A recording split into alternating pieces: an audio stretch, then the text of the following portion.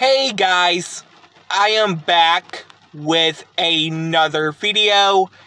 So, yes, um, if y'all didn't saw my Instagram post about Hazbin Hotel and Fortnite, well, this is gonna be crazy.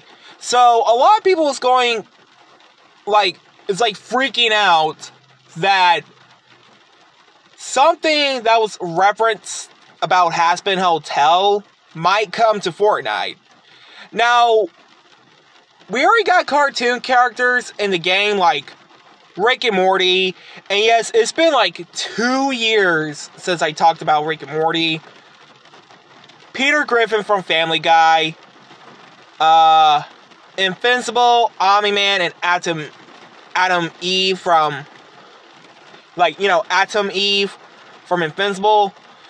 But I didn't know about this till like a couple minutes ago.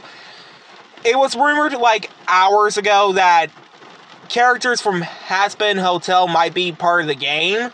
Maybe like Alastor, Vaggie, Charlie, Anathy, Niffty, who knows? But who do you guys want to see in uh, Fortnite? Let me know down comments below, and I hope you guys like, comment, subscribe.